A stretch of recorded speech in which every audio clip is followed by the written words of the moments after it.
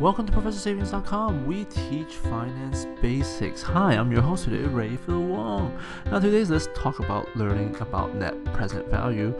In just a few minutes, let's talk about why first. Now, why do we need to determine net present values? Because sometimes we have the decision of whether to take on a project or simply a decision making that is worth taking.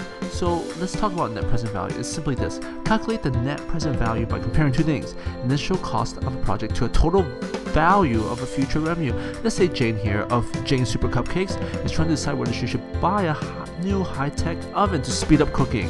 Now Jane sees her cupcakes selling at $4 and it profits $2 from each cupcake. Now this allows her to make 2,000 more cupcakes each year.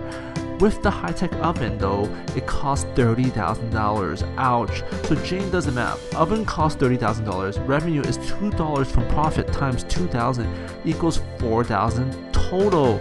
Now 4,000 times 10 years equals $40,000 of revenue. So we need to examine $40,000 minus a discount rate.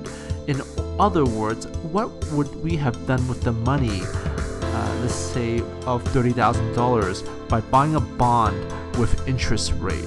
Now, this is just the basic concept. Make sure you consult your financial advisor for more details.